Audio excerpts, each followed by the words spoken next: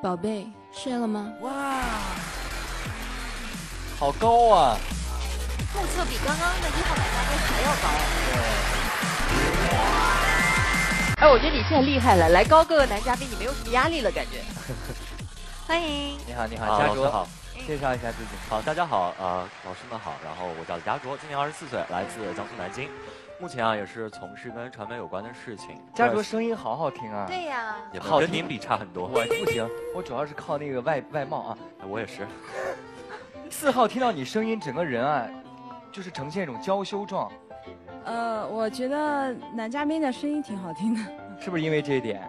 啊，六号也是在跟五号窃窃私语些什么，我们三个人都在说男嘉宾的声音好好听。好好听，对不对？出了声了，也见到真人了。来，红娘姐姐，突然觉得四号说很多，和以前的表现有点不太一样，对，是吧？嗯。但您是轻轻点一下他。啊，轻轻点一下。好，接下来我们进入佳卓的有缘相见。我有点喜欢你第一印象分，请打分。跟你们说个好玩的事儿啊，四号偷偷的戴上了眼镜，赶紧瞟了两眼，然后偷偷的把眼镜又摘了。但他选择在那种暗灯的情况下，赶紧看一眼，然后赶紧摘掉。其实，其实四号你是可以正大光明的看的。我跟你说，这个镜头在最后播出的时候会被重复，然后慢放，然后那。请亮分。我们看到啊，基本上分数都很高。嗯。但是我看到了，在一众高分当中，有一个女嘉宾当中的低于平均线的一个分数。二号。我打低分的原因是我知难而退，因为他说他是音控，我觉得我呃声音不是很好听，因为我朋友都说你平时站着或者坐着别动，呃别动就可以，嘴巴千万不要开口说话，因为他们觉得我声音与我的呃身材啊长相不是很符合。你自己觉得呢？也不符合，也不符合，因为我现在说的是普通话，如果我说我们的俄侨话，你们是一句都听不懂的，几乎。说两句，说两句，好想听。对呀，你跟人穿的多好听哦！再来一遍。你今天穿的多好看啊！哦，对对对对。哇，很厉害哎！像南京话一个。再再换一句。刚才我小子一讲，主持人长得特别像他班主任。刚才主持人说谁长得？刚才的小姐妹说主持人长得特别像她班主任。嗯，对。谁班主任这么好看？我二姐说你长得像他们大学的一个老师，但是那个老师是整个大学最帅的一个。哎呀，他说让我偷拍你。可以，偷拍，明着拍啊！这个他的声音真的好听啊。然后接下来是这样，呃，家长这边的分数我们来看一看啊。有一些平均线上的，但是四号在表达了自己的喜欢之后，爸爸也给了一个特别高的分数，是吧，叔叔？对，小伙子，嗯，从身高和气质啊，嗯，第一印象我们很好看，感觉很好。嗯，哎，行，我们就继续聊一聊。呃，说了自己是声控，然后特别在意的是咬字，是吧？怎么样的咬字是让你觉得舒服的？就其实像。大家说那个颜控啊什么的，他会有一个要求，比如说鼻子要怎么样或者眼睛要怎么样。但是其实我一直以来挺奇怪的，就是我比较在意一个人的咬字发音，比如像陈怡姐的这种咬字发音，我从小听到大，一直都特别的喜欢。啊，那这样，六位女生都来到现场了，这她们的声音你也没全部听到，这样你先转过身去，单独从从声音上给你一些刺激，好吧？好。哎呀，我们规定一个情境啊。好，什么情境？嗯，五个字，宝贝睡了吗？好不好？就这样一句发微信的感觉，然后让他来感觉一下，我们就不按顺序，你就看我的那个手势啊，举到谁谁就说啊。对，好，来啊，准备好，第一个声音，宝贝睡了吗？好，第二个声音是，宝贝睡了吗？睡了吗？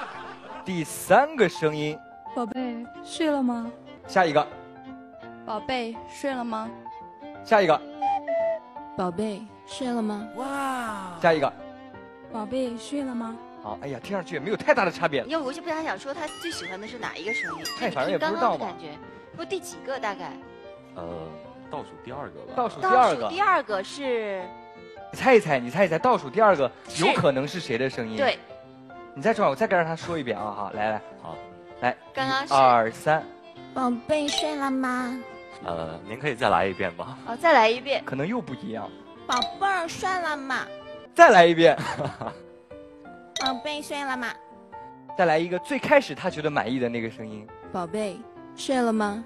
好，都是同一个人，猜猜是几号？嗯，我猜是五号，因为四号和六号可能我都听过他们的发音了，所以我觉得可能是我一个我没有听过的。你觉得是五号？你觉得这个声音比较符合他的外外形是吧？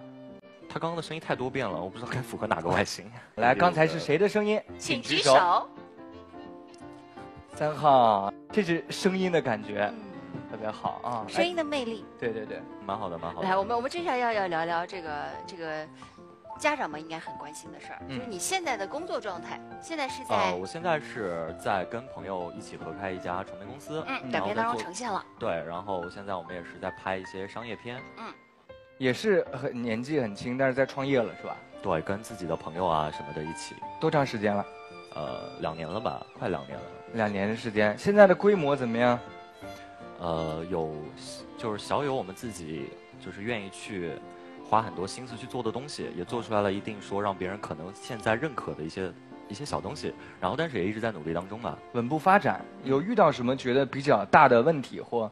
这个东西可能就是一开始的时候，嗯，啊，可能大家因为也是刚刚接触这种不同人的分工，刚刚从朋友啊、兄弟啊，然后变成这种上下级的关系，可能涉及到利益分配啊，或者涉及到东西的，呃，谁去做、谁去制作啊什么的，可能会有一些分工的这种麻烦。但是其实随着时间来，然后大家互相的体谅一下，呃，也会慢慢的有这种我们自己的磨合出来的这种分工啊之类的。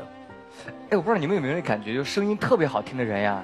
你很容易忽略他到底在讲什么，你就觉得这段话整个就啊听着好舒服，好好听，然后就忘了他在说什么了，是不是有这种感觉？重复一遍那你大概我大概也听懂了，就是大概是什么？大概就是我们现在在努力中，有有分工的问题是吧？上下级哦，兄弟变成了上下级。对，你是上级还是下级？呃，时上时下，可上可下。就是常常随着这个状态的不同变化而产生变化。嗯，但我跟你说，但声音好听其实也是能说出重点的。对，对吧？就是你刚刚不会是在批评他说话没有重点吧？有重点，只是我真的是觉得就是被就吸引了。对，嗡嗡嗡嗡嗡一阵就结束了，我就啊，真的是一个大音箱的那种感觉。对，尤其是在旁边的感觉哈。中国合伙人里面说，永远不要跟自己兄弟开公司啊。你觉得你们现在只要往后走，兄弟感情会影响吗？我觉得不会影响吧，就我倒是希望我们能早日遇到，就是我们因为钱太多分工不均匀的那一天啊。未来的规划是什么样的？主要是钱太多，是吧？对，没错啊。未来的规划其实就是希望我们能不光是把住现在的客户，然后能发展更多的客户，然后有更多的项目，然后往像呃包括电影啊等等更高级阶级的这种呃技术的一些东西去发展。好，那接下来我们通过第二段短片。继续了解。我觉得我最大的优点吧，就是脾气性格比较好，可以做男生的好兄弟，可以做女生的好闺蜜，同时呢，也可以在你疲惫的时候做你的兴奋剂，在你开心的时候做你的小迷弟。我会在你过生日的时候第一个送上祝福，也会在你懒得下床的时候。直接把饭带到你的床边。他是一个在我眼中一个非常讲义气的，非常温柔，非常非常好的，非常乐于助人，很细心、很诚实、很可靠的一个男孩子。我觉得真的非常好。我出生在一个比较和睦的家庭，然后可能比较温和的性格也是在家庭环境中养成的。啊，我很羡慕他们的感情，因为在我从小到大的记忆中啊，无论是他们双方哪一方出差，每天晚上一定会打一个电话。这也让我非常的羡慕。同时呢，你们家只要是遇到了大小的事情，也都会一家三口在饭桌上商量着解决。嗯，一般我这样的好脾气，经常会有人问我说：“你这样的脾气会不会吃亏啊？”但是其实我运气一直都比较好，就我身边的无论是朋友啊还是同事，一直以来我感觉他们都是对我非常好的。短片看完了，最大的感受是什么？人缘很好啊。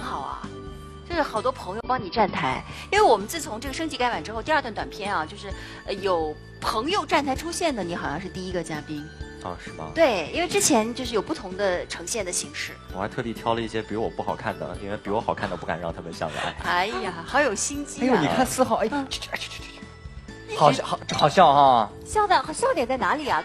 我有时候笑点很低的，因人而异吧。你之前并没有这样。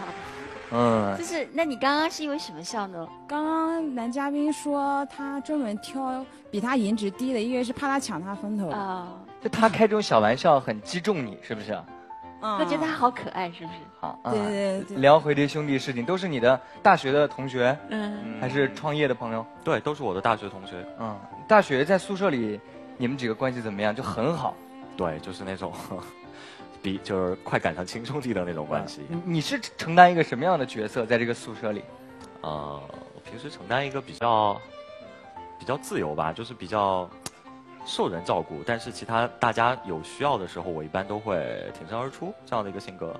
哎，我们俩角色挺像啊，是吗？我跟你讲，大学宿舍，比如说，不知道你们宿舍是不是这样？还有女生，一般会有这样的配置：一个学霸，一定会按时起床，按时去上课。我们学播音的时候，他每天早上七点钟起床去练声。第二个，一定有一个学渣，从来不怎么想尽一切办法能翘课就翘课。第三个，一定是比较内向一点。你们。你们上不上课和我都没什么关系，我有自己的爱好，我自己的生活节奏。还有一个就是会，哎呀，我今天是跟上课的人去呢，还是跟不上课的人去呢，在纠结。所以你们女生宿舍会有这样的情况吗？你们属于哪个类型的？嗯，以前读高中的时候，那个时候我们寝室也是这样子的，就是有一个学霸，然后我就是那个学渣。你就总说咱们别去了吧，最后对结果呢？结果他没有不去，他去了，我没去。剩下的人呢？剩下的人都去了呀。啊，就是你没有改变人家，剩下人都是跟着学霸走了。对，这是好事儿啊。六号呢？第四个就是有时候鼓动学渣、学霸一起翘课，有时候鼓动学渣一起去上课，然后有时候带大家一起出去玩。对，就是他们想去哪儿，基本决定于我想带他们去哪儿。这个角色其实非常关键，就在一个小团队里，他既不是。要总出头的那个，也不是总跟在最后的，他会来回调节，是吧？嗯，我觉得六号确实具有这样的气质，有这个能力。但是说真的，你们聊了这些，我估计四号其实心里想，这些我都不要听啊，我想听听你的情感故事。你之前有谈过恋爱吧？有。谈过几段？嗯，应该一段吧，一段到两段。不可能，一段是什么时候谈的？就大一到大四毕业吧。大一到大四，分手的原因是？多方面的原因吧，各方面的原因。对，主要可能还是不是一个地方。哦，你你这四年的感情有有很舍不得吗？还是说好分吗？就就说分手了就分了。其实分手也不是说一个事情就能解决，就是一说分手就分手了，肯定是一段时间的积累下来，然后会有各种的不合适啊，或者会有各种的，就是一些小矛盾，然后留在那里，然后到最后可能因为异地是一个导火索吧，啊，算是一个爆发点吧。爆发点，嗯，然后就。嗯就是主要就是问更多的问题产生是在异地之后发生的是吧？对，因为呃更多的问题应该是产生问题没有办法及时解决，这是异地我觉得最大的。啊，这是你觉得异地恋的问题啊？女生有过异地恋分手的吗？二号。二号。对，有过一段，然后但是只谈了一个月，一个月不到就分了。那分手的时候会很好调整自己的状态吗？并没有。一个月就，那你需要多长时间走出这段恋情的痛苦？三个月吧，两到三个月。谈了一个月，然后三个月来调整自己。对。那时候是什么样的状态呢？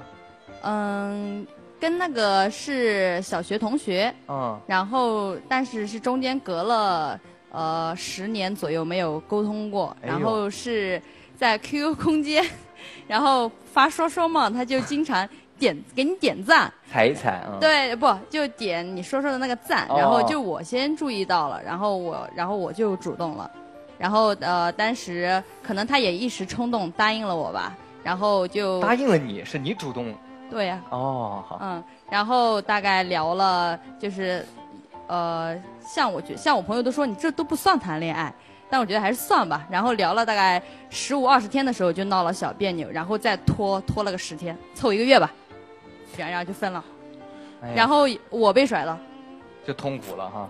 哎，我觉得四呃二号有一个特别大的优点，他真的就是特别诚实，就是就是说的所有东西他不会美化自己，就是有什么就说什么，就包括你看说这个感情的部分就特别爽快，对，就这样就这么回事儿是吧？啊，再回到你身上说说，他两三个月的时间来修复自己一个月的爱情，你这个四年的爱情因为异地分手，你需要调整自己吗？需要调整自己吧，看就这个调整定义是什么？比如说他说三个月的时间走出来，很难过嘛，就是很不舍，或者开始不了下一段感情，进入不了一种全新的生活状态。其实这个倒不会，因为大家都比较 就有自己的想法了，然后分手也不是一下子的事情，可能也经过一段时间的缓冲期。嗯，所以然后在分手之前啊，可能就会有一定的这种心理的承受，然后分手之后，呃，身边的朋友可能很快就看出来，可能没有什么事情，不会让他们看出来有什么事情。嗯，啊，但是就是啊，就你的意思，分完之后很快朋友们觉得你都 OK 了，该玩就玩了。嗯，对。但是呢？但是其实就是心里没有必要去完全否定，也没有必要说我一定要走出来怎么样，它就是一段很美好的回忆啊。哎，我突然间看到四号叔叔举手了，之前一直没有笑，我我特别喜欢看看叔叔一笑露八颗牙哈，就是在刚刚之前一直没看到牙。举手的原因是？呃，我想问一下男嘉宾啊，呃，你是不是老南京人，还是祖籍是外地的？祖籍是外地人，我外公就是南京的。哦，你哦。就是南京人，哎，南京人是的啊，没错。我再一个问到你是哪个大学毕业的？呃，南京大学建林学院。哦，建林学院是吧？你介不介意这个，呃，我们这个女孩子学历问题？呃，谈不上介意吧，就是大概会有一个框架，我觉得就我跟我一样或者往上，然后但是也可以因人而异吧，没有什么特别去想过。啊，哎，叔叔，您说学历是指四号吗？呃，我们家学，我们家。你家儿子不是博士吗？呃，我们家儿子是学历，因为我们家女儿呢，她是大专嘛。大专。他是这个，哎，这个这个，学是学学前教育专业。啊。哎。我突然间叔叔这块特别可爱，你知道吗？他一直摸着裤子，一直，我发现他开始有了些许不自信，就是从之前的那种放出条件到现在，你看慢慢觉得你介不介意？所以，他刚刚说了，其实没有那么介意，是吧？没有什么太大问题。他没有觉得太大问题。啊。接下来进行第二轮的打分，请各位考虑，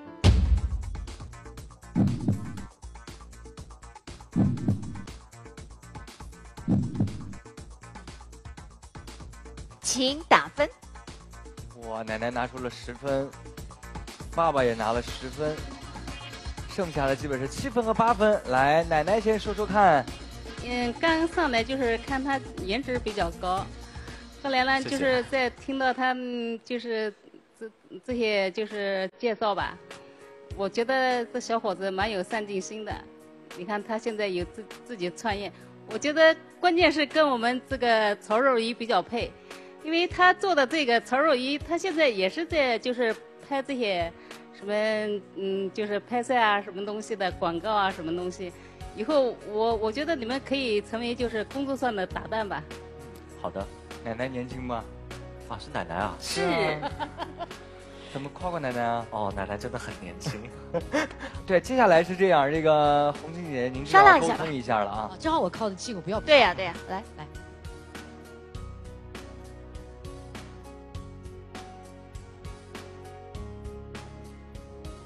既然奶奶不肯让位，这个爸爸又很坚决，这样今天给他们开个特例，就让他们一起上吧。好，这个绿色通道将迎来两位女生，就是我们的三号和四号，请亮灯。好，接下来剩下的四位女生进入你们的考虑时间，请考虑，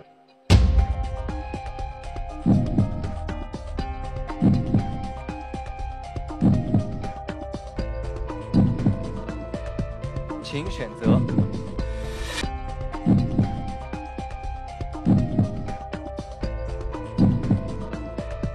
请选择。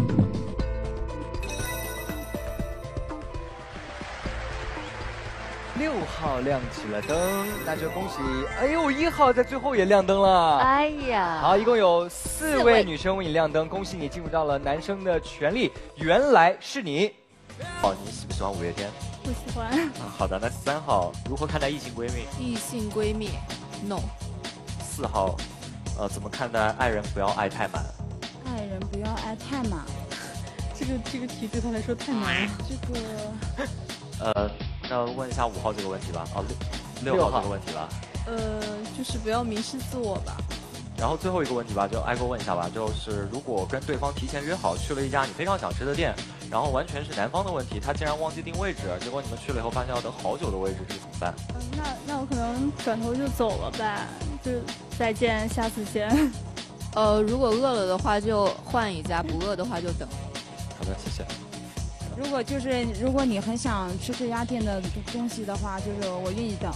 嗯，如果你要是 也等不及，我们可以换家。好的，谢谢。然后六号。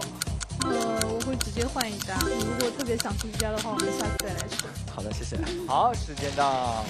一头一尾的问题都蛮有意思的。说第一个问题是你们喜欢五月天吗？看来你自己是很喜欢五月天，是吧？对，我是十多天的五五迷，五迷，嗯，五月天的歌迷。然后最后一个问题是这个一个预设的情景类的问题。对，没错。你出这道题的目的是什么？你先就是我经常是这样的一个人，就是你出的主意，对我出的大家都组织好，对对对，去了，结果发现吃不上，结果发现你想看一下女生们会不会因为这件事情生气，或者会做出怎么样的选择？对，因为我觉得这种事可能我会。会做到这种事，然后我们我希望他能就是我们非常开心去换一家吃。哪个答案是比较符合你的要求的？好像除了一号都是说可以换一家。没错，就是我希望能随心一点。啊，一号是说我掉头我就走。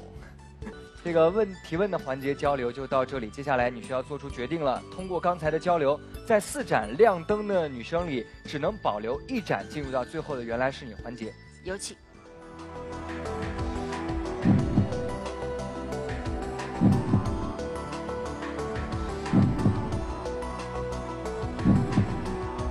究竟谁的灯会被保留呢？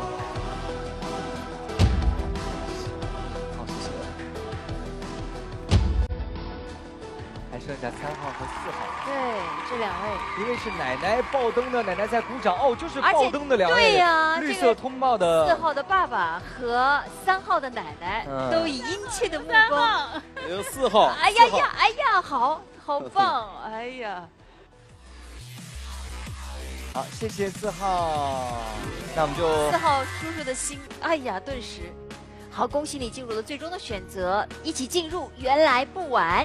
哎呀，这个场面稍微有那么点儿似曾相识。真的呢。但上一次的情况也是有一位男生啊，若愚的奶奶特别满意。对。然后最后若若愚选择了没有转身啊。是。